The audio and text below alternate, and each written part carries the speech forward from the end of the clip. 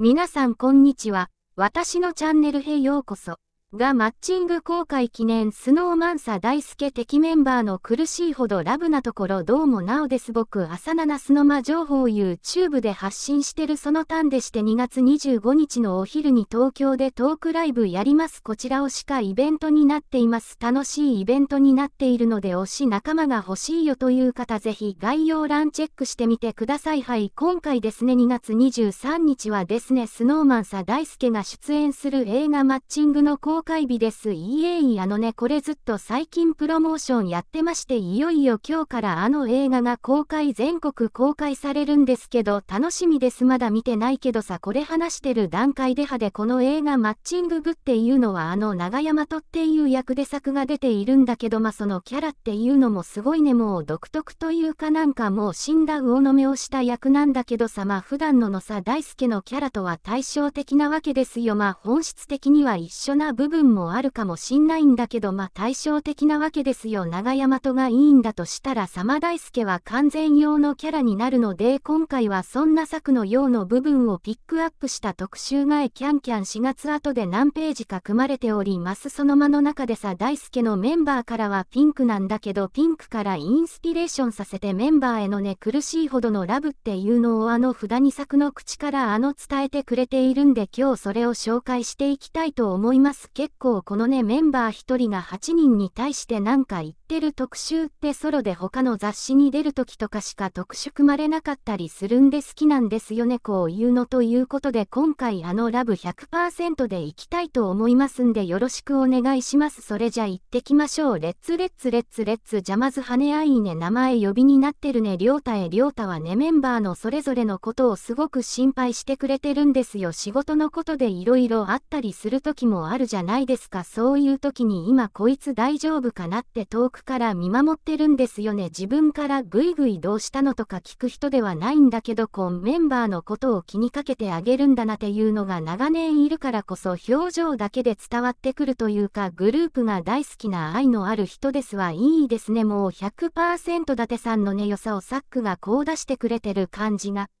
しますよ。まそうです。米屋の本当に気にかけているっていうのがそこまで伝わりづらいのかもしんないそのグイグイ行かないじゃどうしたのと大丈夫とかいうキャラじゃないんですよ遠くで無言で心配そうな目をしているっていうのが伊達さんですよね特にまあラウールを見る目なんか母親そのものなんで見守る父ですね見守る父だそうあの父親のタイプも色々あると思うんだけど完全に見守るタイプの父親だと思いますはい結構そのメンバーを心配気にかけている伊達さんっていうのももっと出してみてほしいけどねこれで見立てバージョンやってほしいですね。伊達さんがメンバーに対しての苦しいほどラブっていうまラブじゃなくてもいいけどコウメバエの思いっていうのを話している特集もしかしたらあるかもしんないけどちょっと大抵的にやってほしいなと思います。じゃあラウルね最近気づいたんだけどあいつが同じクラスにいたら絶対友達になってるんですよ。2人にしかわからないような変な自分たちだけが楽しいノリみたいなのをずっとやっててる最近そういう僕らだけで楽しんでるみたいなのがとても多くってお前と同じクラスだったらずっとこうやってふざけてたよなってよく言うんですよ。一緒のテンションというか温度感金銭が似てるんですよねはいやこれはわかるかもね確かにまあベース本ねチームベース本ではあるんだけどノリが似てるっていうのはちょっとあるかもしんないさっきのドラルは身長差コンビとも言われていてグループの中で一番でかい人と一番ちっちゃい人のコンビなんですよでもテテンション感は似てんだよねちょっとねふざける度合いやの子ふざける時にここまでふざけるっていうさこれ以上吐かないけどある程度行くとこまで行くよ俺らっていうのが波長がってる気はするこのササックのふざけに対応してくれるのってま工事とかも対応してくれるけどラウルも結構さ乗ってくれるんだよねでサックの言ってるさお前と同じクラスだったらずっとこうやってふざけてたよなっていうのはすっげえわかる同じクラスだったらふざけてるタイプの2人だわ本当に感じますね。じゃ続いてコージね。僕はコージがいてくれて嬉しいんですよ。なんかスノーマンにコージがいるのといないのとでは本当に変わるなと思っていてコージの存在がスノーマンをすごく助けてくれるなってそう感じています。だからこそすごく感謝しているんです。はいこれねまなもねあのよく話してるんだけどコジがいることでスノーマンがお茶の間に近づいていると思ってる。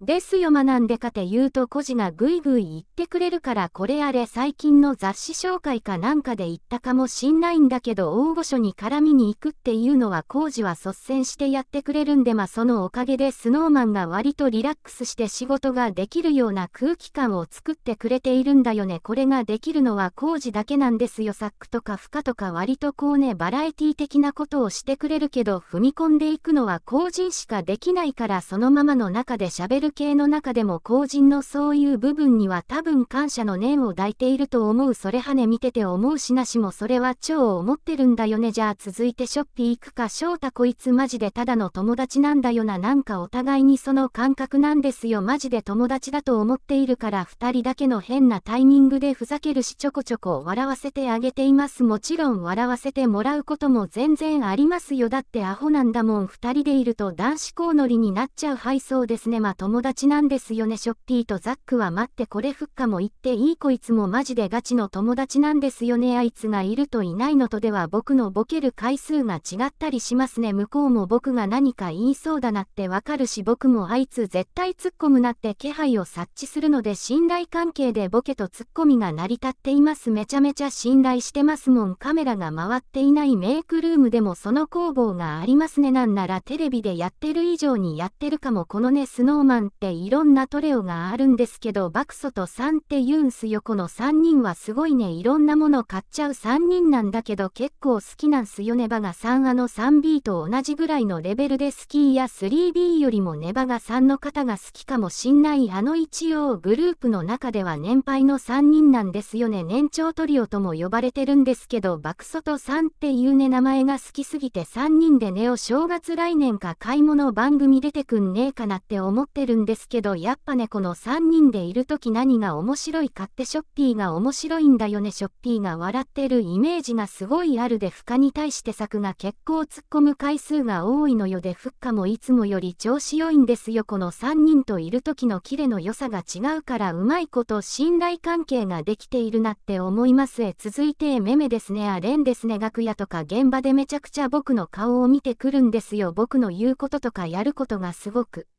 好きなんですよね。多分それを求めて干した顔で見てくるからカメラリハーサルとかバタリの時にすれ違いように何か一言言うとすごい爆笑してくれる僕と断られるのが楽しいんでしょうね。めっちゃ可愛いですわいなんかさ思ったんだけどササックのこのなんつうの立位好きかもね。きっと僕といられるのが楽しいですねっていうこのこの感じ好きですね。ささんまでもメメが策を求めてる時っていうのは確実になって私はいつもねメガボルト撮影の合間だと思ってるんだけど昨日作はさいろいろメンバーに絡むからさ自由時間があればでメメと作の時は今やってるかわかんないけど先輩後輩のくだりがすごいあってまあそもそも大学の先輩後輩なんだけどメメがそのドラマとか映画とかですごいブレイクしてる時に作がなんか演技のことで困った俺に売ってくれよみたいなそういう先輩面をするんですよ。でねメもその作のノリについていくっていうお決まりなやつがあるんだよね。最近その貢献見てないからわかんないんだけど音以外とメメネ作の笑いとか結構だから好きなんですだからラウルとかとかもあるのかな。えじゃ続いて阿部ちゃん昔から知ってるからこそなんですけど最近特に頼れる男になったなって感じています昔はどちらかとごととナッとしていて意見もあまり自分から発信することがないような子だったんです。でも今ではスノーマンで話し合う時もしっかり舵を取ってくれたりすごく頼りになることが多いんです。僕自身も色々と相談することが増えましたね。本当に昔から一緒にいる中でお互いのことをすごく知ってるからこそ最近の阿部ちゃんはかっこいいなって思います。来たね。共通点ゼロの片思いなんかいいね。あの昔はどちらかというとナッとしていて自分から意見言わなかったけど今はスノマのミーティングとか話し合いで舵を取り取るようになってきた。頼りになることが多いこれはいいことだねサックがうことで安倍ちゃんがものすごい成長したんだなっていうのが伺えるよやっぱりさずっと一緒にいるからこその成長を感じてるわけでしょだからさっきさショッピーとあのフッカが友達みたいに言ってるけど安倍ちゃんは安倍ちゃん友達なんですよでここの安倍ちゃんもこのバクソトさんに安倍ちゃんが交わるって言うとまた面白くなってくるんだよね。アート工事もだ工事も混じってくるとまた騒がしくなってきてま伊達さんも混じってきたりするからそれでツアー中さホテルで一室に集まってゲームとかするんですよ。わ茶してんだ。ここ本当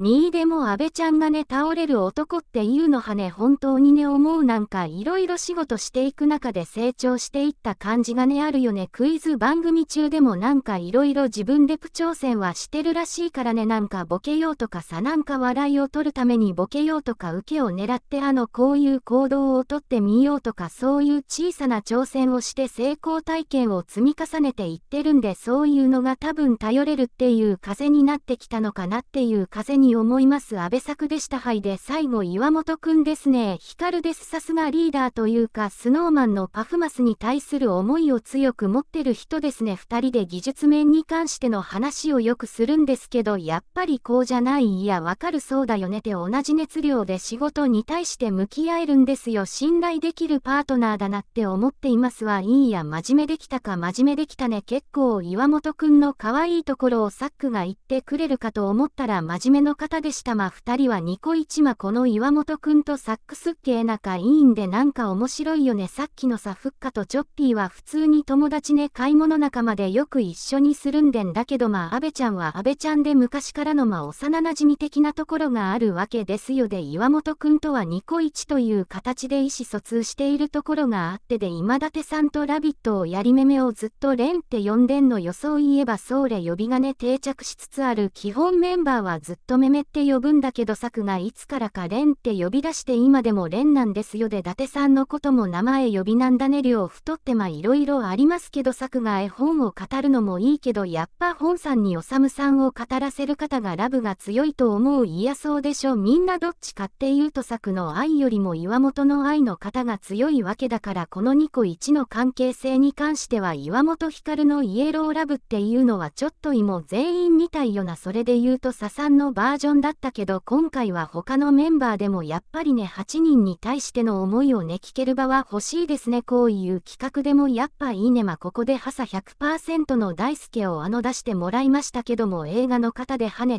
うから雰囲気ガラッと変わってくるんでなしも今日あのね公開日初日見に行ってきますけどもすごく楽しみです。皆さんもぜひねお近くの映画館で映画マッチング劇場に足を運んでみてください。今日は公開記念の作特集動画を紹介させていただきました今日はそんなとこ。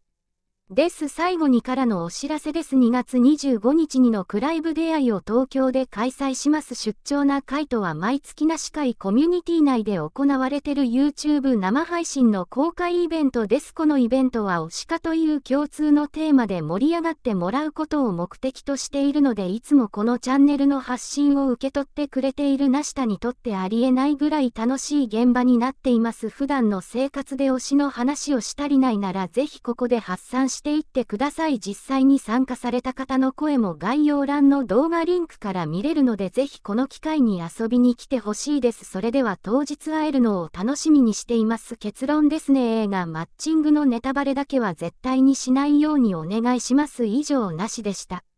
どこだと思いますか？次は CU でした。